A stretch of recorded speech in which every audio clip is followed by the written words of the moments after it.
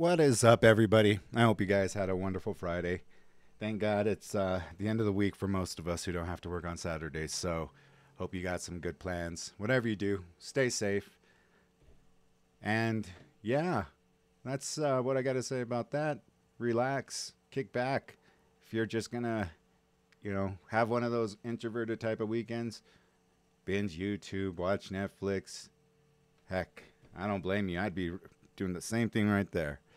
But in saying all this, there was a an episode I posted. I guess you, that's what you would call it, or a video that I had posted on this channel about incels.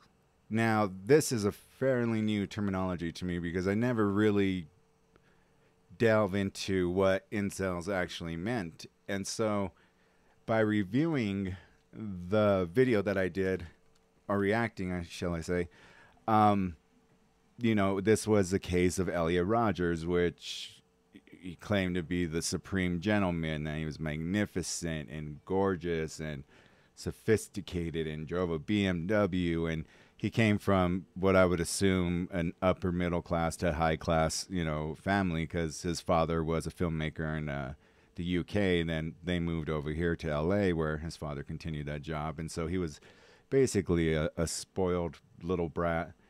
Um, and this is a part where I know it could push a lot of people over the edge, but he felt bullied his whole life. I guess some kids taped his head to uh, uh, the desk.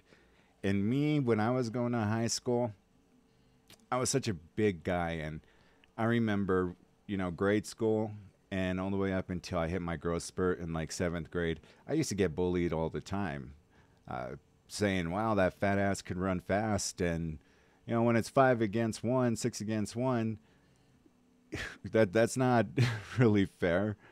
But luckily, I've only been in one fight in my whole life, and I didn't punch a person on his head. I just got him to the ground by leg sweeping him because I was in Taekwondo and thought I was like Bruce Lee and shit. but after that, I joined Golden Gloves more or less to protect myself, and I lost my first two matches because I do everything by weight and not by age, and so you know, I was going up against guys who were, you know, older, more experienced, and were the same weight as me just because I was such a heavy kid, big kid. Uh, but I eventually learned, you know, self defense. And, you know, thank God, knock on wood, to this day, I've never been in a street fight. I've always been the one, even when I was drunk. When I'm when I drink, I'm like a happy drunk. I, I don't get violent. I don't get upset. I don't, you know, I just I'll have fun. But I haven't drinking in 15 years, so I don't know if that's changed. But I know at the time, like I couldn't stand bullying. And uh, I remember this kid came to our school, and he was bigger than me. And immediately he started bullying a lot of kids. So I offered him. There was a rec center from you know a little bit away from, not a little bit away. It was walking distance from our high school. And I said, I'll tell you what, if I kick your ass, you know, uh, in a boxing match, you stop bullying. If uh, you kick my ass, I'll keep my nose out of your business. So he agreed. Um, and not knowing, you know, I kind of set him up with this, not knowing if he knew how to box or not, but I knew I did. And I broke his nose um, and made him get on the knee when I punched him in the gut, knocked the air out of him, and then they called it. So I was able to prove my point. Um, by doing what I did. Cause I, I knew how it felt to get bullied. I mean, shoot, I'll give you a nasty ass story of what some punk ass little kid did to me in like sixth grade. We're running around the gym, and I still am traumatized. I have a, I'm terrified of moths. I hate moths. Oh my god. Usually I won't kill like animals or insects. Like I feel bad. I just trap them and put them outside. Moths, mosquitoes, man, I will freaking flamethrow their ass in a heartbeat because this little punk ass kid grabbed a dead moth and while we were running, he threw it in my mouth. And that's how badly I was picked on. And it was, like I said, when I hit sixth, seventh grade, like I just sprouted up to, uh, I think by the time seventh grade come around, came around in eighth grade, I was like six two, and then that all that shit stopped. And by the time I made it to high school, like I said, I went to a prep school, private school, and uh, the student body, there was only five minorities, including myself. Right away, I got, hey, are you in a gang? I'm like, Why? Because I'm darker?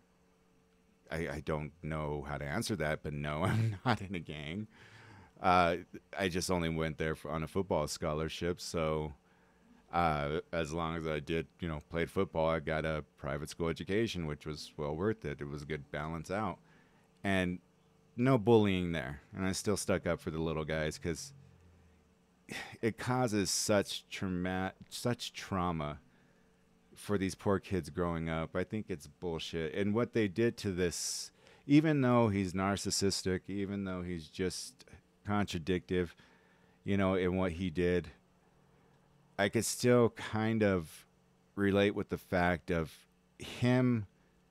Well, I can't relate about not fitting in. I mean, everybody always welcomed me with open arms uh, in school and work and whatever. I mean, you know, I've never been casted out to the outside, but apparently he was never like he really only had online friends, and so he got more and more um, intolerable of seeing couples saying, you know, why is she with this guy who's a low life? And doesn't even know the people, and you know she likes him, and why can't women be like that with me? And you know, just like I said, a total narcissist, and. Uh, then he goes on that awful killing rampage and to make you know retribution for what?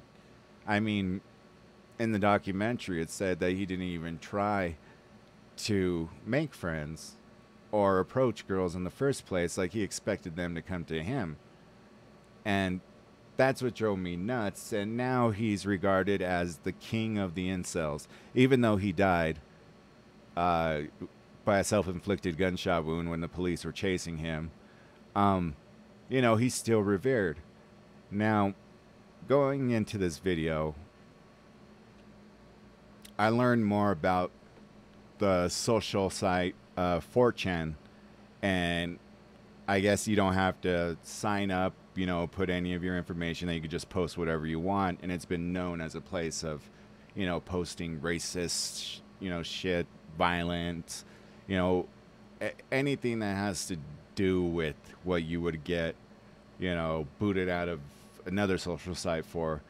Me personally, I only do Facebook. I I've just made an Instagram account because the person who I did my intro outro before I have this awful setup, which, like I said, I bought the uh, Adobe, and I'm still trying to figure out how to use that thing. So bear with me. But like I said, it's not the most high class of videos that I make for now, but uh, he suggested like you know make an Instagram account, so I made it like really obscure, like you know use my name, but then a ton of different digits afterwards.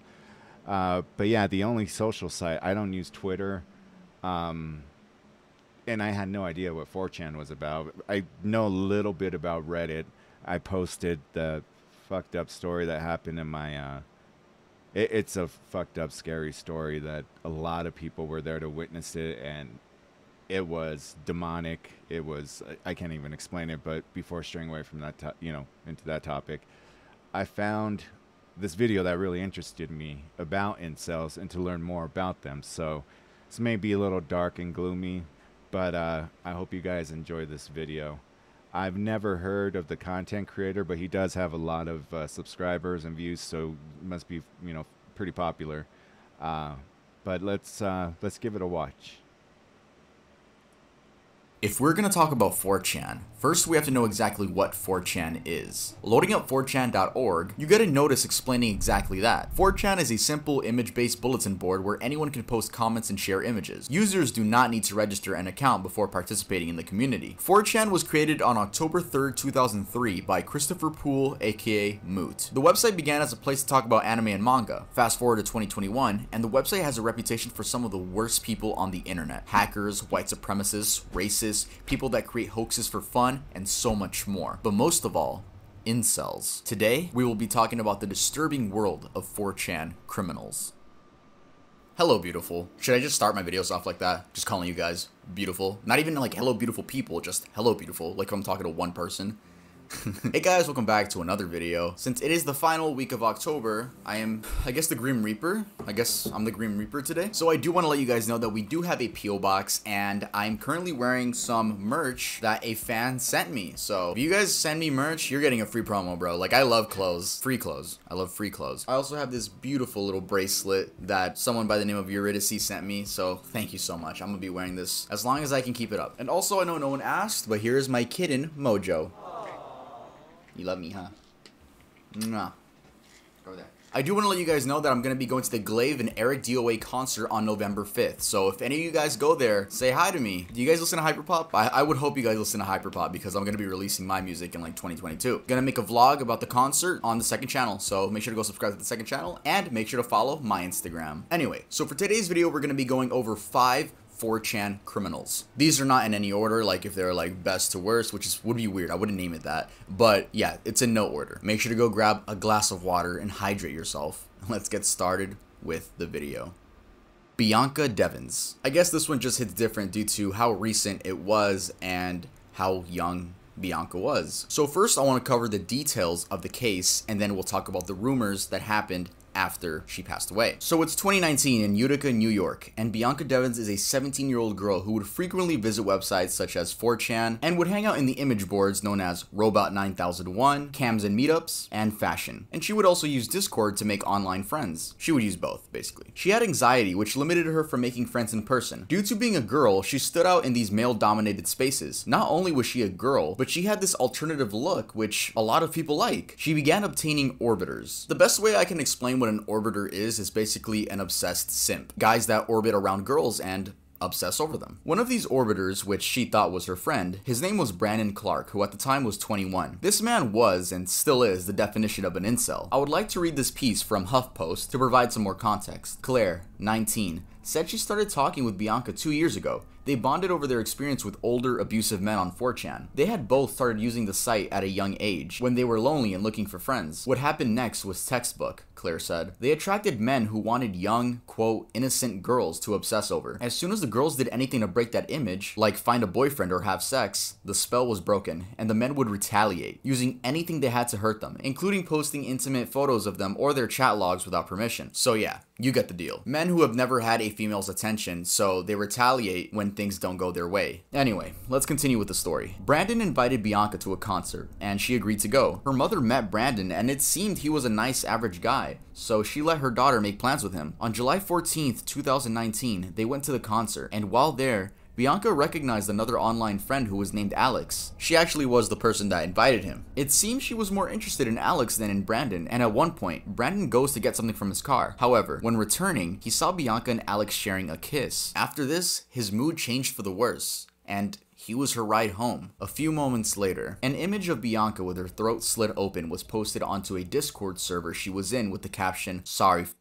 you're gonna have to find someone else to orbit. People in the server were worried as to if it was her or just a random image from Google. Someone reverse image searched it and found nothing. There was reportedly also a video of the of the murder which I initially thought was a rumor, but after doing my research, there 100% was a video. And I don't know if that's ever been released to the public, but not that I want to watch it, but I've never, never seen it. Seen the images, but I've never seen uh, the video. So I'm assuming someone asked Brandon where he was or something along, along those lines, because in this next screenshot, we see Brandon say this, my car. I f Bianca, dumbass. Anyways, remember to subscribe to PewDiePie. Also, to the Alex with the Chinese username, hope it was worth it. She was gonna go home today. Why did he have to bring PewDiePie into it? I, I don't understand that. I remember when the whole meme was going on, I'm subscribed to PewDiePie, but like, ew. I'm sure he probably said it because that's what the Christchurch shooter said before going on a killing spree, which we will talk about later in this video. Then Brandon began posting on his Instagram story and Snapchat. I'm not gonna show the images, but I'll read the captions attached to them. I'm sorry, Bianca. Here comes hell. It's redemption, right? Thanks to everybody who was good to me. I'll miss you all. I'm sorry, Bianca ashes to ashes. Eventually, Utica police got a phone call from Brandon himself stating this 911, what is the emergency? Uh, my name is Brandon. Um, the victim is Bianca Michelle Devins. I'm going to myself. Just stay on the line with me, okay? No, I'm not going to stay in line with you. I'm going to be dead on the ground. When police arrived, they found a pit of fire with Brandon's laptop in it, a tarp, and Brandon attempting to commit with a knife in his neck. He failed doing so, but under the tarp was Bianca's lifeless body. Brandon has been sentenced to 25 years to life in prison. If he was burning his laptop, bro, who knows what could have been in that laptop. So now let's get on to the rumors that started popping up after her death. So if you were on the internet throughout 2019, which I'm fig I figure a lot of you were, I'm sure you remember this story. But shortly after the images appeared on Discord, they began circulating on Twitter, Instagram, and 4chan. Horrible people would post those images of Bianca on Instagram and tag her accounts Why? in the pictures. Not only this, but scummy Instagram Why do you have to be such a fucking asshole to be doing that? To reposting a.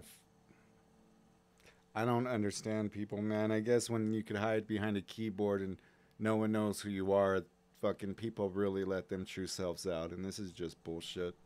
meme pages would self-promote under her last picture saying they have the picture, so request to follow them. Instagram even stated that they knew about that specific image and were handling banning it altogether. Don't even get me started on the reaction on 4chan. Incels on 4chan began praising Brandon and claiming he was a hero. But why? Not only are they incels, but what I'm gonna say here, again, I'm not saying it's facts, I'm saying these are rumors because I know there's a lot of controversy when talking about the Bianca Devins case because it's mainly the 4channers that get mad at this. But let me continue. Rumors began circulating that Bianca would use guys, aka her orbiters, for drugs and overall attention. These are some screenshots of apparently her accounts. Regarding those rumors, her mother had this to say about it. The things people are saying about Bianca isn't even true. There are screenshots of things Bianca supposedly said to people, but it wasn't actually Bianca, and I have proof. The person that used to impersonate Bianca admitted it.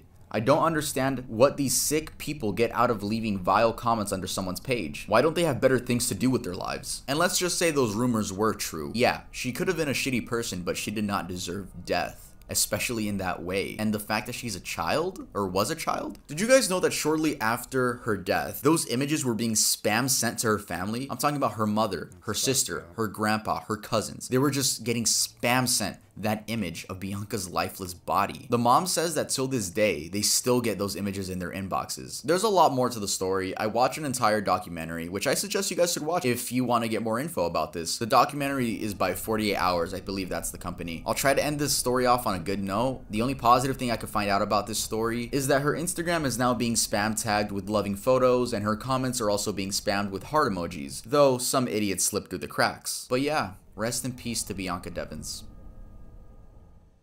David Kalac. Turns out it's way harder to strangle someone to death than it looks in the movies. Um, duh. Because those people are acting, she fought so damn hard. Check the news for Port Orchard, Washington in a few hours. Her son will be home from school soon. He'll find her, then call the cops. I just wanted to share the pics before they find me. I bought a BB gun that looks realistic enough. When they come, I'll put it and it will be by cop. I understand the doubts. Just check the news. I have to lose my phone now. David Kalac, also known as the 4chan murderer, was a 33 year old man from Washington who murdered his girlfriend by strangulation and then proceeded to post the images on 4chan for other incels to react to. This happened in 2014, by the way. He posted the images to a room dedicated to celebrity nudes and ex girlfriend nudes. So it's no doubt this dude was looking for a reaction considering the woman in the pictures was naked in the photos. David's plan was to murder his girlfriend, pretend to have a real weapon, then be killed by a police officer, aka by cop. He knew her 13 year old son would find her body after coming home from school, and that's exactly what happened. Oh my god. people?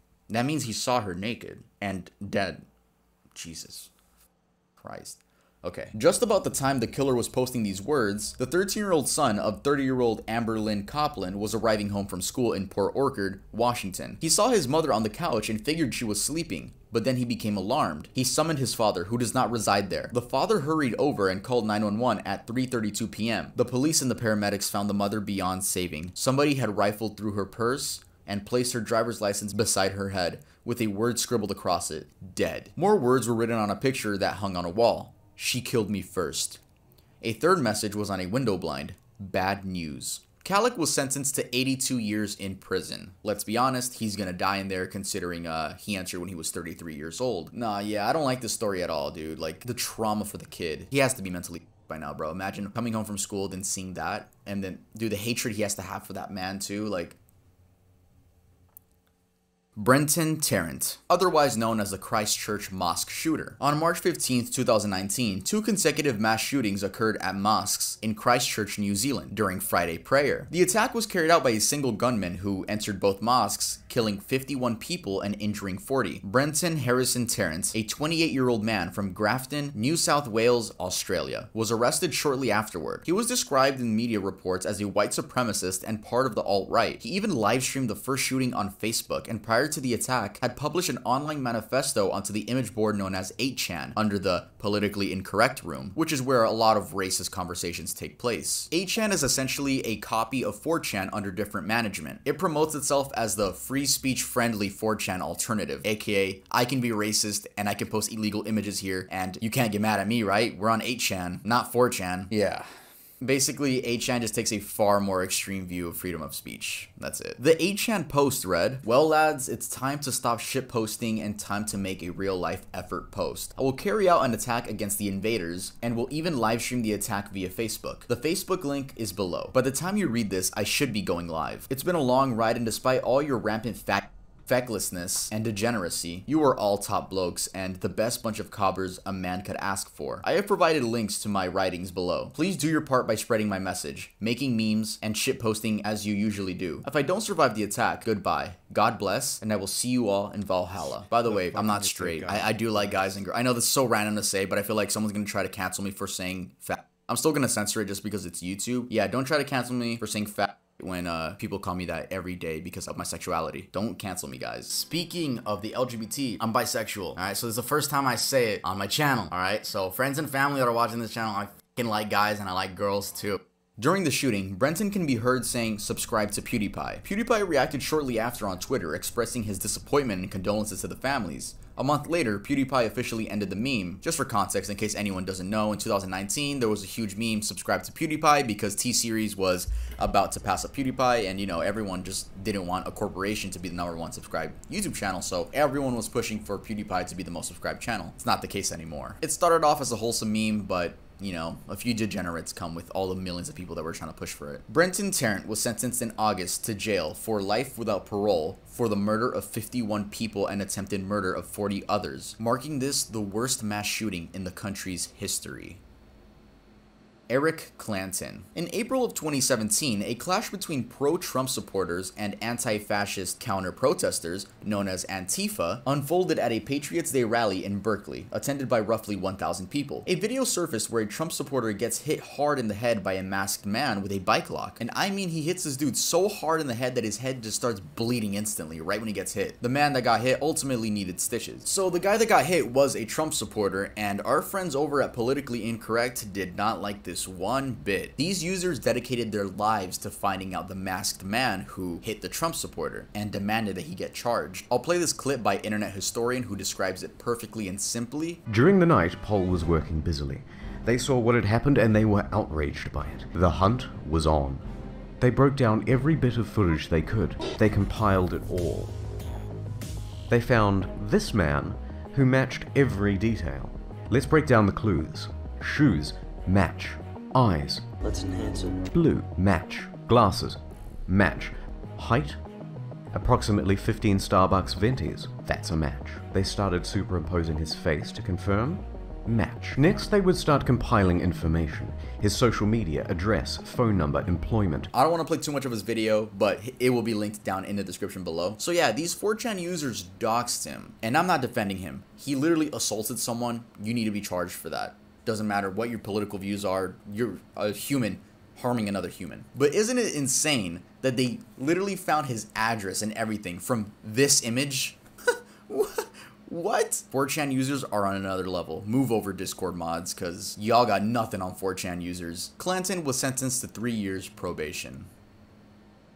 Ruben Braithwaite. Okay, so for this segment, I'm gonna read an article. The reason I'm gonna read it from an article is because there are a lot of quotes, and I don't want to paraphrase that, so I just rather read straight from the article. I just want to give credit that this was written by Jason Evans, and it's on the website Wales Online. Ruben Braithwaite was 12 years old when he went to live with his dad and stepmom, Fiona Scourfield, at Broadmoor Farm in 2013. She loved him, took good care of him, and was a great believer in him and wanted him to go to university. But five years after she took him into her home, Braithwaite would return from school, lure her out of her farmhouse, and cold heartedly murder her with an axe and a samurai sword. Desensitized through his apparent fascination with gore filled images on American website 4chan, the teenager had watched her blood drain out of her before calling police. He would later tell officers that he was, quote, convinced he had to do it, and that his motivation was to shock people, to change my life. I just wanted her dead so I could have a life. I'm just fed up, he told officers. The full horrific details of this monstrous crime can be reported for the first time after Braithwaite was jailed for life with a minimum of 15 years. At Swansea Court on Friday, sentencing Judge Mr. Justice Picken was told that in the 12 months before the murder, he had become fascinated with online material about mass killings, suicides, and beheadings, and spent a good deal of time viewing such material. After the killing, he would try to upload the images of his dying stepmom onto the site, but the uploads failed as he was already banned. Police recovered more graphic videos from his phone depicting road traffic accidents and mutilated bodies. The boy said he had become desensitized to gore and was used to seeing blood. So basically this kid lured his stepmom outside of the farm and said there was an injured cat outside. And once she was outside, he knocked her out with an axe. It says the blunt side, the blunt end of the axe, so I'm guessing, you know, not the sharp side. But he knocked her out with the axe, and once she was knocked out, uh, he then sliced her neck with a samurai sword that his dad had under his bed. And then he waited for all the blood to drain out and then called 999, which is uh, the authorities in the United Kingdom. And admitted to what he did. He's been in jail ever since. The judge even said, like, I just feel so bad for the father because you lost two people you love, technically. Your son, which is now going to spend the rest of his life in prison, and your wife. I swear, like every every person I named in this video is legitimately going to hell. Maybe not the bike lock dude. He didn't really kill anyone, but yeah, I just want to say rest in peace to everyone that I have spoken about in this video. And my condolences go out to their families. Well said. If you guys thought this was a quality video, make sure to leave a like. If you guys like my morbid videos, make sure to check out this playlist where it's just all my dark videos. And I hope you guys don't think I'm like some psychotic dude that hangs out my room and just like talks about dark stories. Bro, I swear, I have a personality outside of these videos. I mean, my personality shines through, I'd like to say. And that's why I think a lot of you guys like me. Want to ask, you guys have any video suggestions? Leave them down in the comments. I also forgot to say this, so thank you for making it to the end. And I also want to say, since you made it to the end, I want to let you guys know that I have merch. So it's kind of funny that I make dark videos, but this is my merch. So uh, yeah, I have merch. So if you want to represent the Tuv channel, uh, make sure to go buy some merch. I made it the cheapest option possible. I don't care about the profit. As long as you guys can rock the merch, I'm okay. And uh, I'll see you guys next time I upload. I am truly shocked. Being final product. More and more when I hear cases like this. Oh, man. So let me just say, after I got in the music industry, and once I got out, like I said, I, it, in the music industry, you have to have tough skin if you're working behind, you know, the scenes. If you're an A&R rep, if you get yourself to the executive level, any which way you cut it, you really have to have thick skin because people sometimes are just assholes and are just going to be blunt and to the point. And even though what I would say, quote unquote, normal day people are not necessarily like that, um, they're ruthless. They're like sharks. And so I've always, like I had mentioned before this video about standing up for people, I had left, when I had left the music industry, I had a job working for a uh, nonprofit organization working with people with disabilities, helping them with vocational rehabilitation. So every month I would write, and this was at the Denver VA Medical Center that I was contracted out of. And so every month we would get new clientels that had a documented disability. Now this could go anywhere from uh, paranoid schizophrenic to uh, people who have PTSD, ADHD. I mean anything that would be documented as a disability. And for instance, there was the most sweetest, wonderful lady. She was maybe five foot, you know, this beautiful little black lady she was in her 50s and she just had the most vivacious vivacious smile and her laughter could light up a room and used to have doctors and administrators come down just to see her smile and laugh like she really could just brighten up your day. But she had to have a shot once a month.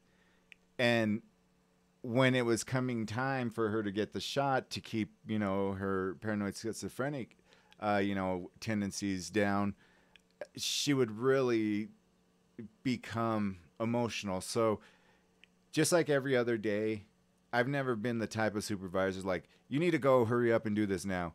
I'd just be like and i would tell her just because out of you know you're treating them a little bit with a fine-tooth comb and we're not going to fire them unless they do something egregious uh for i won't even mention that but um she was actually a permanent employee so i don't ha- i didn't have to write reports on her but i had to write reports on new clientele that would come into the program to where we're giving them vocational training helping them get back out into the field after you know the war or uh, if they've been homeless and are now getting on their feet receiving some aid you know.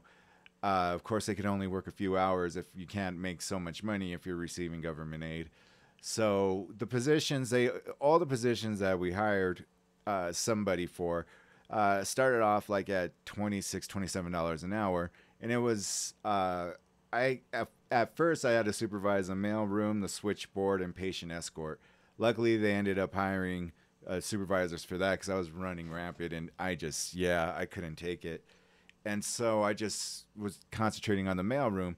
And people already have their pre notions. Whoever you guys who work, you know, for a, a big business, uh, you know, mailroom people are off, you know, often or not like looked down upon or just because they're not the ones who are making a lot of money. Well, that wasn't the case with our employees.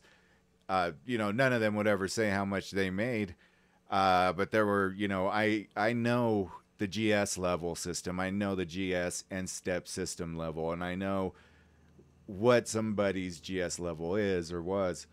And I would never brag to them about, you know, hey, my employees make this much because they were actually earning it. And with her, she was such a hard worker, but there was just one day in particular I had asked her, like, hey, um, do you have, you know, your uh, you know, your mail cart ready? Is everything organized to go? And she just said, yeah. And then I was like, okay. So I walked down the cafeteria, grab a drink, come back. And then she was sitting in the office with a female supervisor because there was a male supervisor and a female supervisor. And she was crying to her. So it's, I'm like, what's wrong? And of course, I talked to them like, I don't want to say like childish, but almost like that. And it, you know, she's like, she said like I hurt her feelings for asking her about that, and I knew it was just her disability, but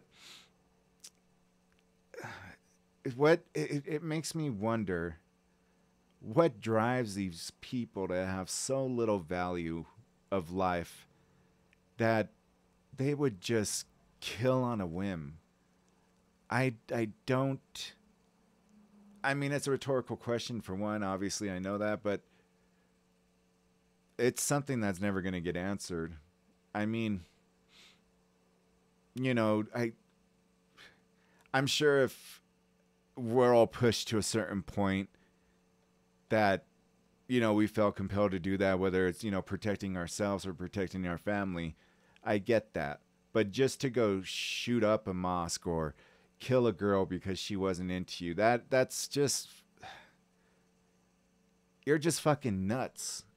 And that's what also drives me so crazy about the judicial system because there are so many murders that are basically perpetrated by people who have mental disabilities and they just don't take the time or effort and when they do take the time or effort to have them, you know, see psychiatrists. You know, I'm no psychiatrist, but I'm just saying, you do something depraved and fucked up, and a psychiatrist comes in like, yeah, you know, he's not, he's not crazy. Look at his goddamn actions. What kind of a normal person is gonna do what he did or she did, and say they're not crazy? That's pretty fucking, you know, excuse my language. I'm just pissed because I hate hearing about young people dying, being killed, or killers at a young age. It's like, what's driving them? What's motivating them to do that? And I mean, this has gone on throughout all of humanity, but I don't know. I'm just sorry about my little rant, but this video pissed me off for that simple fact. You know, that poor little girl. And I mean, the rest of the people who were just traumatized by these fucking idiots and assholes. It just, yeah, it, it really hurts. But, anyways, I'm going to concentrate on something a little bit more, uh, uh, not as gloomy. uh, so, yeah, stick around for our next one. Until then, peace.